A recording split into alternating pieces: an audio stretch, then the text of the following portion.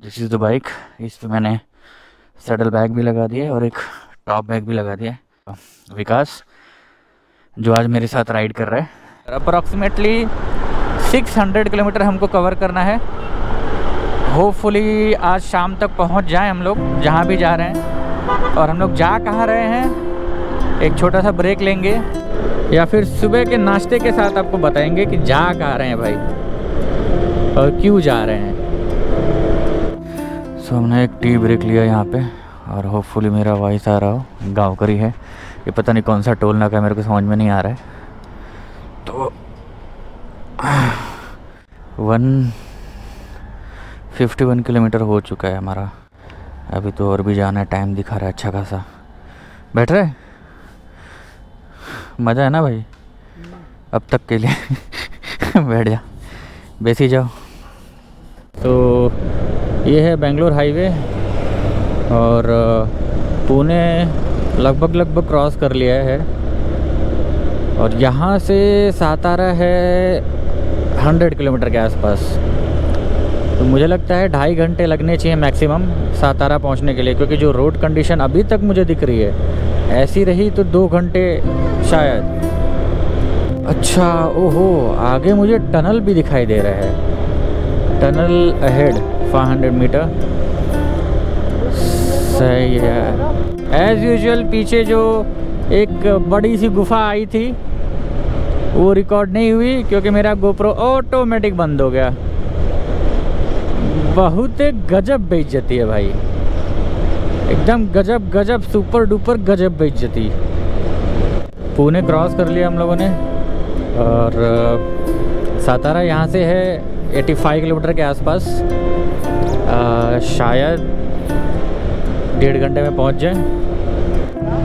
Lake अच्छा है ना? मज़ा आ गया देख के। ड्रोन वोन रहता तो मज़ा आता नहीं उड़ा के यहाँ पे। वो माउंटेन कितना दूर होगा? इतना इतना खूबसूरत दिख रहा है वो। ऐसा लग रहा है कि बस वो शेड एक बनाया हुआ है। वो रियल में है नहीं। ये माउंटेन क्लाइंबिंग शुरू होगी। राइट से जाएँगे या लेफ़्ट से जाएँगे या फिर पूरा माउंटेन क्लाइंब करना पड़ेगा? नो आइडिया कौन सा माउंटेन है? कौन से लोकेशन पे हो? कुछ नहीं पता।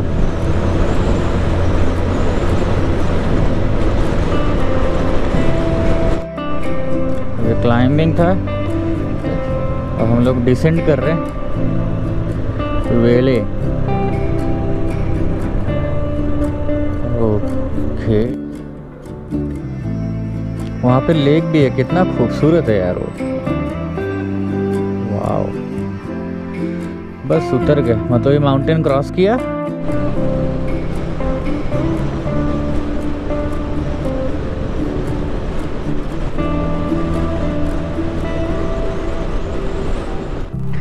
एक तो गोप्रो में पता नहीं क्या प्रॉब्लम हो गई है कि वो सिर्फ़ और सिर्फ़ दस या पंद्रह सेकेंड ही रिकॉर्ड कर रहा है। सेटिंग में चेक किया, कुछ मिल तो नहीं रहा है उसमें। सातारा अभी तक क्रॉस नहीं किया था हमने। और मेरा जो रियर व्हील है, एक बहुत हार्ड प्लास्टिक था, उसका टुकड़ा घुस गया और जिसकी वजह से पूरा एयर निकल गया। और वो जो कट था, वो इतना बड़ा था कि ट्रिपल लेयर भी डाल के ट्राई किया बट फिर भी हवा रुकने का नाम ही नहीं ले रही थी। और फिर इसके बाद करें तो क्या करें हम लोग? तो वहाँ पास में होंडा सर्विस सेंटर था, वहाँ गए तो उनके पास टायर नहीं था तो उन्होंने एक रेफरेंस दिया, वहाँ पे गए, हम लोग टायर तो मिल गया। लेकिन टायर फिट करने वाला कोई नहीं। सवा दस, साढ़े दस बजे के आसपास हम लोग ऑलमोस्ट क्रॉस कर चुके थे सातारा बट वो प्रॉब्लम हुआ और अब देखो टाइम हो रहा है वन ट्वेंटी टू तो पीछे जो होटल में रुके थे हम लोग टाइम थोड़ा चेंज हुआ है तो इस वजह से हल्का खाना खाया। और हमने सातारा तो क्रॉस कर लिया हो गया लगभग पंद्रह किलोमीटर तो हो ही गया सातारा क्रॉस करके। अब अगला हमारा डेस्टिनेशन जो होगा वो होगा कोल्हापुर। और अभी टाइम हो रहा है दो बज गए मतलब साढ़े तीन बजे कोल्हापुर। फिर कोल्हापुर से हमको जाना है गोवा। टाइम तो लगेगा बाबा। तो भाई हाँ, ये रही बाइक विकास। चकाचक चल रही है और ये न्यू टायर चेंज हुआ है, इसका कलर दिख रहा है और काफ़ी ढूंढते ढूंढते एक ऐसी जगह मिली, छाँव मिला। आसपास का लोकेशन भी बहुत अच्छा है। तो थोड़ा सा रेस्ट कर लेते हैं यहाँ पे। इस वक्त हम हैं कोल्हापुर और कोल्हापुर की शुरुआत हो चुकी है। शहर में एंट्री करने वाले हैं या नहीं, या फिर आई थिंक ये बाईपास ही लेके जाएगा। मुंबई के बाद ये पहली जगह है जहाँ पे मुझे ट्रैफ़िक मिला ऐसे।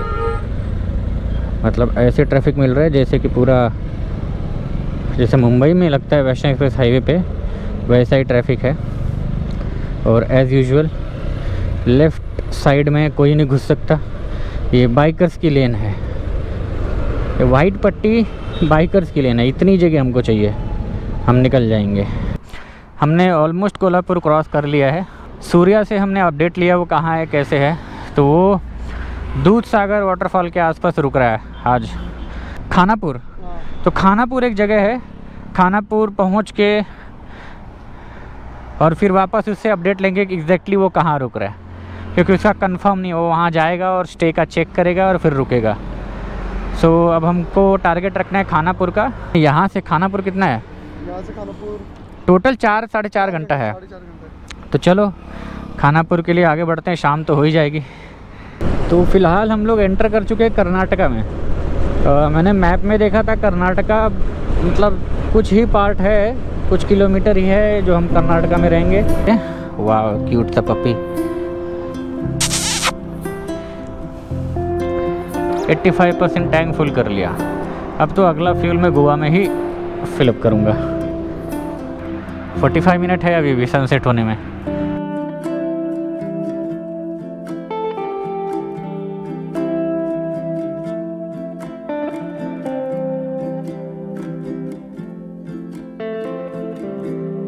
अभी बेलगावी है 42 किलोमीटर के आसपास।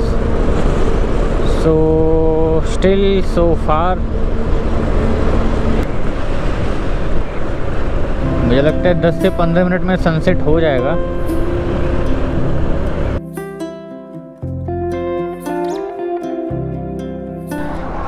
तो हमने सनसेट शूट किया है। होपफुली आपको अच्छा लगा।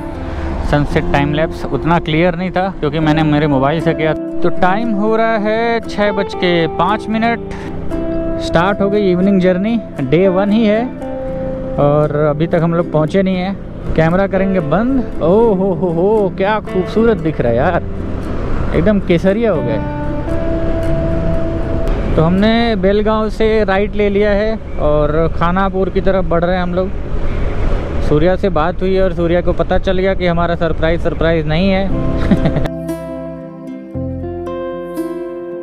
मेरा अभी किलोमीटर हो गया twenty nine thousand nine ninety five और मुझे लगता है जैसे लेफ़्ट लेंगे मेरा थर्टी थाउज़ेंड हो जाएगा इस बाइक में kilometre. Twenty nine thousand nine ninety nine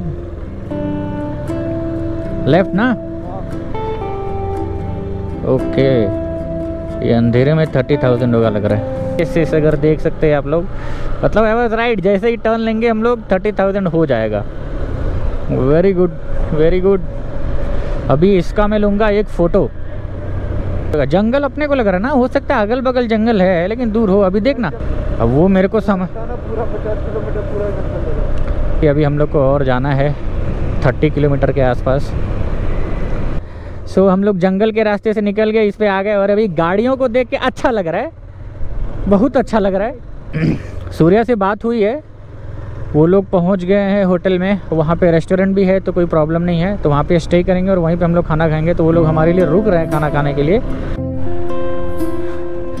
तो फाइनली सूर्या आ गया। सूर्या की गाड़ी और ये सूर्या का भाई आई थिंक अभी राइड कैसा था आज का?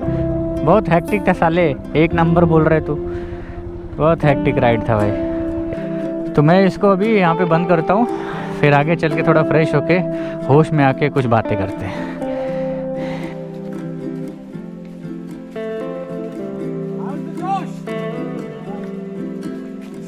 It was not high. हाँ सब लोग अपने में ही है।